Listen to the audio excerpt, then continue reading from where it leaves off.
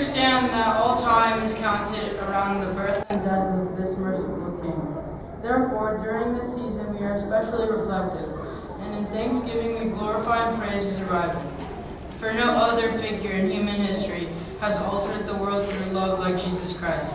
He is King of kings and Lord of all lords. Thank you for joining us tonight.